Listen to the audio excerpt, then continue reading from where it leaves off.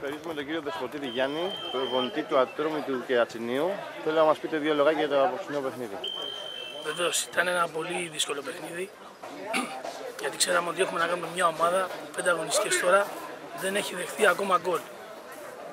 Και τη σκιαγραφίσαμε για να δούμε πώς θα ανοίξουμε την άμυνά της να μπορέσουμε να, να σκοράρουμε. Και οι δύο ομάδες βέβαια παίξαν πολύ άμυνα σήμερα. Ναι. Και παίχτηκε πολύ στο κέντρο πιστεύω το παιχνίδι, με λίγες φάσεις. Παίχτηκε στο κέντρο, είχαμε και κάποιες προωθήσεις των αμυντικών που ήταν, ε, είχαν κάποιο ρόλο να δουλεύουν πιο γρήγορα. Όπως και κάποια χάφ είχαν ανασταλτικό χαρακτήρα για να μπορέσουμε να βγάλουμε το σύστημα που θέλαμε ενάντια στην Ελλάδα Ποντίων. Ε, η Ελλάδα Ποντίων είναι μια πολύ καλή ομάδα και δίνω συγχαρητήρια στα παιδιά.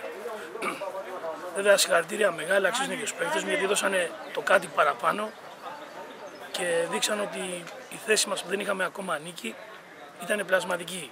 Βέβαια, έχουμε και το γεγονός ότι πέντε αγώνες τώρα έχουμε παίξει με τις πιο δύσκολες ομάδες. Και καταφέραμε αυτό που θέλαμε, να μην δεχτούμε γκολ και να βγούμε μπροστά. Τα καταφέραμε, είχαμε και άλλες ευκαιρίες να σημειώσουμε και άλλα γκολ. Και το ευχαριστήθηκε όλος ο κόσμος που ήρθε και το είδε. Κατά τη γνώμη σας, ε, το σκόρ είναι δίκαιο; Ε, το σκόρ πιστεύω είναι δίκαιο.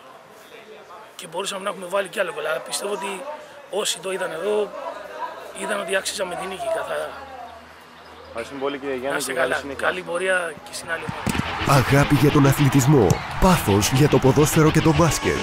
www.sport5.gr Δημιουργήσαμε την απόλυτη ιστοσελίδα για την προβολή των Ακαδημιών Ποδοσφαίρου και Μπάσκετ. Την ανάδειξη των ερασιτεχνικών πρωταθλημάτων και τουρνουά ποδοσφαίρου. www.sport5.gr Η στιγμή απογειώνεται για πάντα. Οι όμορφες φάσεις γίνονται θέαμα. Τα γκολ και τα καλάθια μπαίνουν στην ιστορία. Αποκτήστε τα σε DVD με ελάχιστο κόστος. Μοιραστείτε τα με τους φίλους και την οικογένεια. www.sport5.gr Μοιραστείτε το πάθος σας.